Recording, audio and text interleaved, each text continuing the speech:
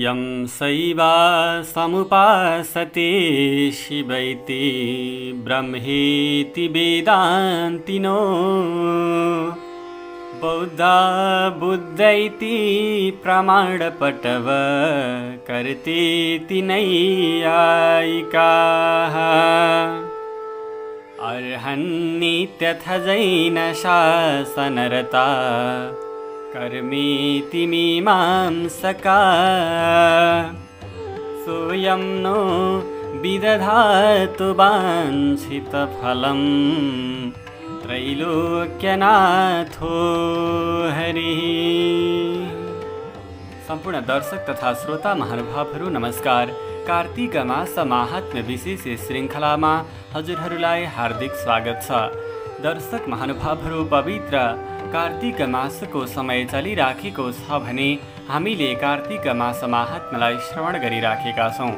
दर्शक महानुभावहरू आजको यस श्रृङ्खलामा हामी कार्तिक मास महात्म्य अन्तर्गत एकादश अध्याय यानि कि एघारौँ अध्यायको कथालाई श्रवण गर्न गइराखेका छौँ। अत्यन्त भक्तिपूर्वक श्रवण गर्नुहोला। एकादशोऽध्याय। यो दशम अध्यायसम्मको प्रसङ्गमा आकाश दीप दानको त्यसै गरी यो व्रतको महिमा बताइसकेपछि अब फेरि बालखिल्यहरू आज्ञा गर्नुहुन्छ। कार्तिकका कृष्ण पक्षको द्वादशी नामको तिथि जुन रहेको छ त्यो गवत्स द्वादशी हो। बाछा पुज्ने विषयमा यो दिनको विशेष महत्त्व रहेको छ। गोधुली काल अर्थात् सूर्य अस्तसम्मको बेलामा व्यापक भएको द्वादशी लिनु पर्दछ। पहिले दिन वरका रुक्मिणी बाछाको पूजा गर्नुपर्छ र अनि बाछाले शहीद भएकी एक वर्णकी राम्री सुदी दुधालु गाईलाई चन्दन सिन्दुर आदि र श्रृङ्गार गरेर फुलमालाहरूले पूजा गर्नुपर्दछ हे मुनीश्वर हो त्यस दिन तेलमा पकाएको कसौडीमा पकाएको चिज र गाईको दुध गाईको घिउ र अरू दही दुध पनि त्याग गर्नुपर्दछ बेलुका सूर्य आधा अस्ताउँदा आधा घडी उता आधा घडी यताको बेला गोधुली हो। त्यस समयमा निराजन गरेर शुभ अशुभको विचार गर्नुपर्दछ पहिले सुनका थालीहरूमा रहेका नाना प्रकारका बत्ती बालेर ती बत्तीले निराजन गरेर शुभ शुभ हेर्नु पर्दछ। सबै बत्ती बालेर उत्तरतिर फर्काएर राख्नु पर्दछ।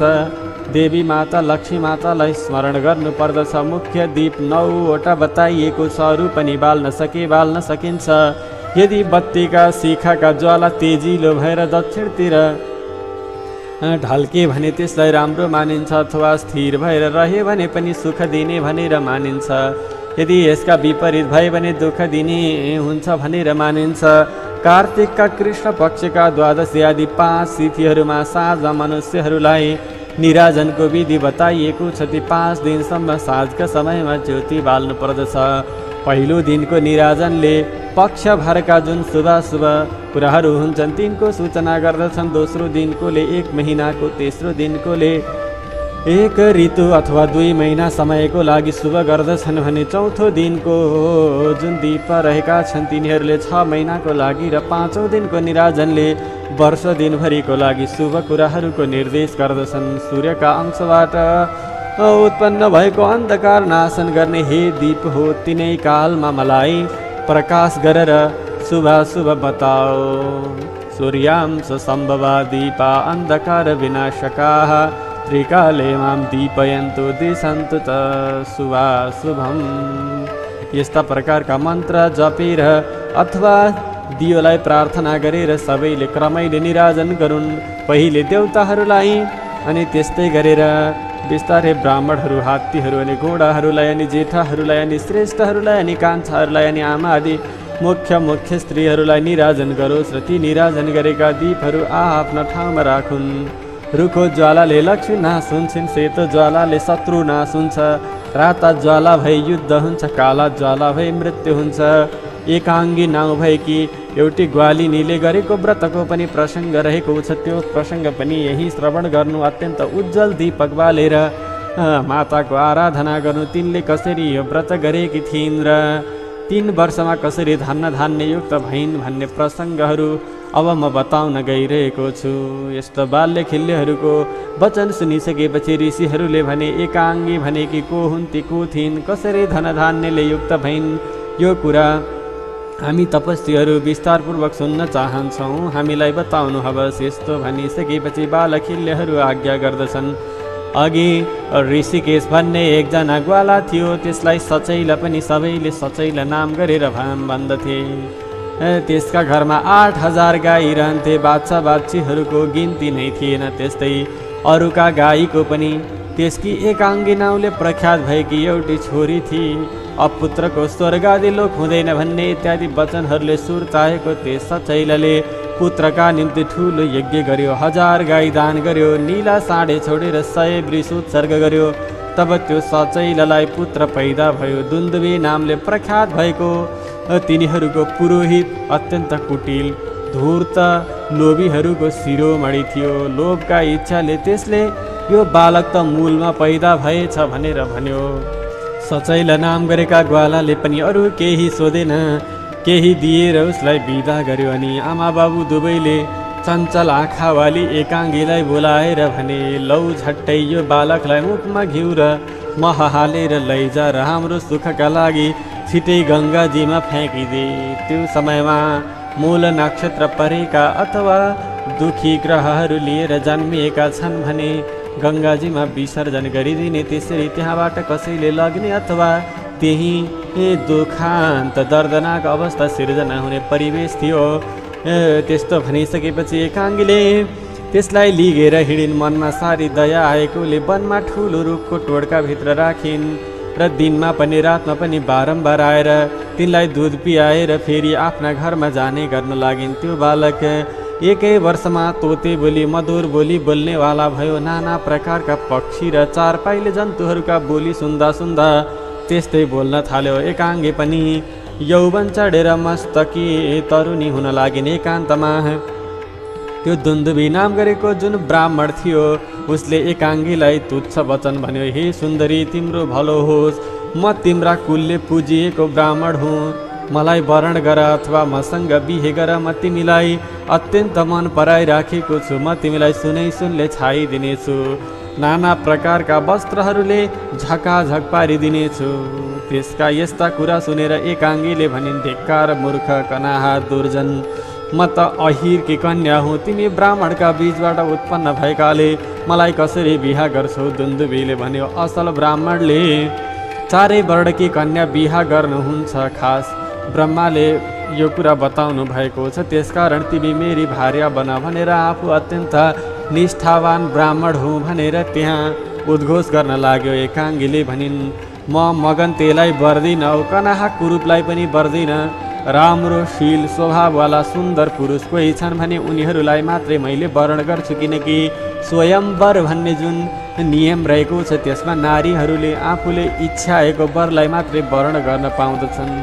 यस्तो भनिसकेपछि दुन्दुबीले अनेक प्रकारले लोभ्याउँदा पनि ती बाला त्यसका बसमा पर्दै परिनन् तब त्यो क्रोधित भएर अब मैले यसलाई कुनै जालसाजी अन्यायमा फसाउँछु फसाउनु पर्यो ठोक्नु पर्यो अथवा एकान्तमा मार्नु पर्यो म यसको छिद्र खोज्दछु। यस्तो विचार गरेर त्यो बाहुन तिनको चालचलन हेर्न थाल्यो। त्यो ब्राह्मण दिउँसो लुकी लुकी तिनका साथ वनमा गयो। त्यो दुष्ट अधम बाहुनले टाढैबाट तिनको कारवाही हेरिरह्यो। तिनले बालकलाई निकालिन् र अगाउन्जेल दुध दिएर एकछिन खेलाएर फेरि उहीँ राखिन् र गाई चराउन थालिन्। ब्राह्मणले त्यसरी त्यो सबै देख्यो र तुरन्तै घरमा आएर त्यो कुरा सबै सुचैलालाई भन्यो म समिधा कुश लिन भनेर भागीरथीको तिरमा गएको थिएँ। मैले त्यहाँ एकाङ्गीलाई एउटा अत्यन्तै धर्म छिड भएको धर्म नष्ट भएको व्यक्तिसँग क्रीडा गरिराखेको आचार विचारहीन व्यक्तिसँग क्रीडा गरिरहेकी देखेँ। त्यस्तो प्रकारको नराम्रो व्यक्तिबाट बालक पैदा पनि भएछ त्यसलाई रुखको टोड्कामा राखेको छ। अहो तिम्रो कुलनाश भयो अब नरकमा गिर्नेछ हे दुर्गति त्यसलाई त्याग। नत्र भने म तिम्रा सबै बन्धु बान्धवको अगाडि तिम्रो कुरा भनिदिनेछु। त्यसै गरी त्यसको छोरोलाई र त्यसलाई पनि बैलको पिठ्युमा बाँधेर चाँडै वनमा त्यागिहाल। नत्र भने जातिबाट तिमी बहिष्कार हुनेछौ अथवा तिम्रा समुदायले तिमीलाई बहिष्कार गर्नेछ। जाति भाइले बाहेक गरिएका तिमी राजाबाट पनि दण्ड पाउनेछौ। यस्तै कन्यालाई घरमा राख्नाले नरकमा पनि पर्नेछौ। त्यस दुन्दुबीले त्यसरी भय देखाइएको कारणले गर्दा सचैला नाम गरेका ती ग्वालाले त्यसै बखत वनमा गएर ती दुवैलाई बयलका पिठ्युमा बाँधेर वनमै त्यागिदिए। बयल पनि तिनीहरूलाई लिएर दैव संयोगले डुल्दै डुल्दै जाँदा तिनका साथैमा हरिद्वार नाम गरेको भगवानको धाममा पुग्यो र त्यहाँ बाँधेको बन्धन आफै खुकुलियो। बन्धनबाट छुटेका एकाङ्गीले बालकलाई पनि छुटाइन् र ती बालिकाले त्यसै डोरीले गोरुलाई पनि त्यही क्षेत्रमा बाँधिन्। त्यो वनको बाटो जान्दथिन् तिनले वनको बाटो जान्दथिन् गोरुलाई बोकाएर झारपात ल्याएर त्यही एउटा कुटी बनाइन् र कन्दमूलहरू खाएर रहन लागिन्। बयलले घाँसहरू ल्याउँथ्यो। ती घाँसहरू ल्याउन लगाएर उनले काटेर लिएर आउँथिन्। त्यसपछि बेच्दथिन्। त्यही पैसाले भाइलाई र गोरुलाई पनि पाल्दथिन्। कार्तिक महिना आएपछि लोकहरू त्यहाँ स्नान गर्न आए। तिनीहरूले दान गर्नलाई देश देशबाट गाईहरू ल्याएर त्यहाँ आएका थिए। तिनीहरूले ग्वालिनी जाने र चराउन हेरचाह गर्न दिए। हे वरुण हे गरुण त्यस ती नारीले ती गाईको खुब स्याहार गर्न थालिन्। त्यहाँ आएका ल्याएर दान दिने सबै गाईहरूको स्याहार गर्न थालिन् ती लोकहरूले आफ्ना गाईहरू सधैँ हृष्टपुष्ट देखेर तिनलाई धेरै स्याबासी दिए। कार्तिक कृष्णको एकादशी तिथिमा सम्पूर्ण भगवानका भक्तहरूले वैष्णव गणहरूले आएर गा गौ माताको पूजन गरे। त्यो देखेर ती बालिकाले पनि विधिपूर्वक अति भक्तिले गाईको पूजन गरिन्। त्यसरी तिन वर्ष पूजा गरिसकेपछि संयोगले हे मुनीश्वर हो सचैला नाम गरेका ग्वाला पनि कार्तिक महिनामा हरिद्वा हरिद्वार नाम गरेको गङ्गामा स्नान गर्न भनेर त्यहाँ आए। वनको शोभा हेर्न जाँदा ती बालिकालाई वनमा देखेर सबै वृत्तान्त सुनेर सबै वृत्तान्त थाहा पाइसकेपछि तत्काल अत्यन्त कुलको व्यक्ति खोजेर तिनको बिहे पनि गरिदिए अनि तिनले दुन्दुभीलाई त दुन्दुभी नाम गरेको जो ब्राह्मण थियो उसलाई धिक्कार गरेर उसलाई फेरि त्यागिदिए उसलाई कहिल्यै पनि सम्मान गर्न छोडिदिए। फेरि ती एकाङ्गीले पनि त्यो जुन जुन त्यो दुन्दुभी नाम गरेको त्यो ब्राह्मण थियो उसलाई सरापिदिन्।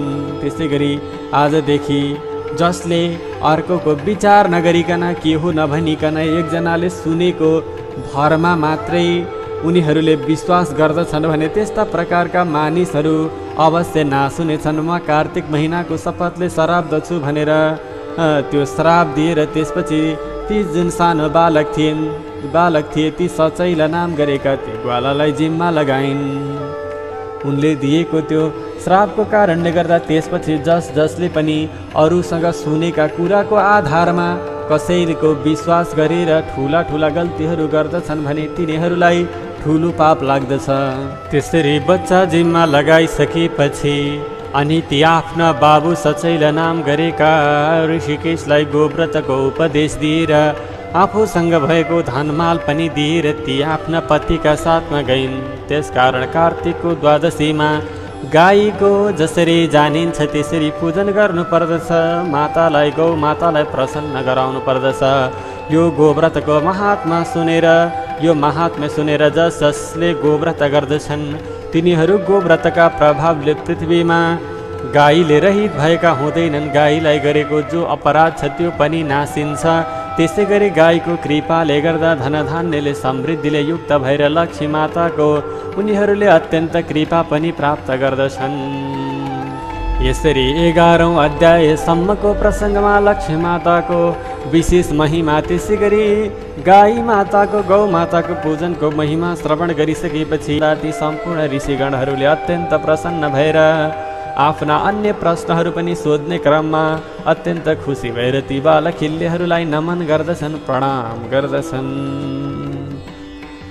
ॐ शशङ्खचक्रं शकिरीटकुण्डलं सपीतवस्त्रं सरशीरुहेक्षणं सहारवक्षस्थलकौस्तुवश्रियं नमामि विष्णुं शिरसा चतुर्भुजम् सर्वे भवन्तु सुखिनः सर्वे सन्तु निरामया सर्वे भद्राणि पश्यन्तु मा कश्चित् दुःखभाग् भवेत्।